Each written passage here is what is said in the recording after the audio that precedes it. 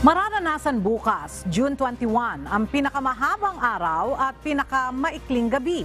Ayon sa pag-asa, ito ay dahil sa tinatawag na summer solstice o kapag nakatilt o nakatagilid ng husto ang mundo sa axis nito.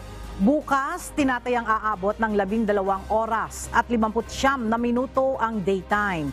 Magsisimula bukas ang pagsikat ng araw ng 5.28 ng umaga at lulubog naman dakong alas 6.27 ng gabi. At sa mga susunod na araw ay inaasahang unti-unti nang iiksi ang oras ng maghapon o hanggang sa magpantay ang araw at gabi o ang tinatawag na equinox.